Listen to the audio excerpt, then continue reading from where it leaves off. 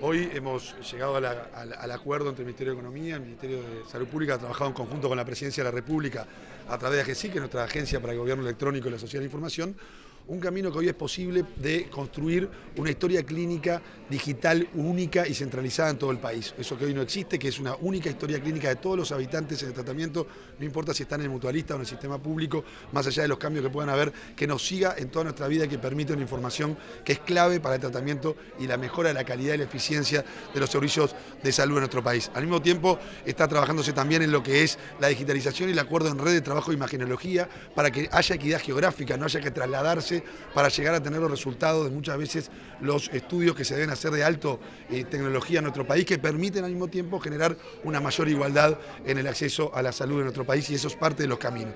Estos cambios son parte de la reforma del Estado. Lograr simplificar los, trámites, lograr simplificar los pasos para el acceso es parte de esa tan mentada reforma del Estado que se hace en silencio, se avanzan muchas veces en muchos aspectos, pero que hay que darle la unidad conceptual que le estamos dando cuando presentamos estos temas. Primero el acuerdo, tal como lo dijimos, es un acuerdo importante con dos instituciones, este, el Ministerio de Salud Pública, el Ministerio de Economía y Finanzas, más la Presidencia de la República y AGESIC. Lo más importante acá son tres elementos, la historia clínica, la imagenología y el tema de la conectividad dentro de los prestadores de salud.